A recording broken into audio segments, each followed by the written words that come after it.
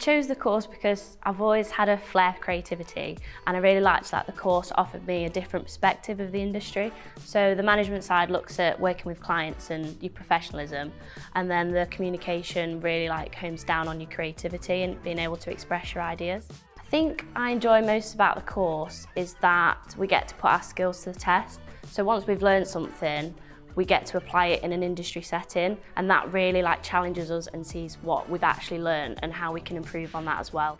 We've had the chance to work in industry with small to medium brands and even bigger brands. The recent live client brief that we worked on was with a brand called Weekday and we had to create a fashion event for the brand. So it, we had to come up with a concept and work with the brand one-on-one -on -one uh, to create a fashion event in store in Sheffield. I was a project manager, so I was in charge of managing people, deadlines, budget and finance, and I got to work one-on-one -on -one with the client. We really had to become adaptable to what they wanted, but also what we wanted to express in our ideas for the event as well. And I think what I learned from the brief was that it's being adaptable to any situation and not putting pressure on a certain outcome because things don't always go the way you think they're gonna.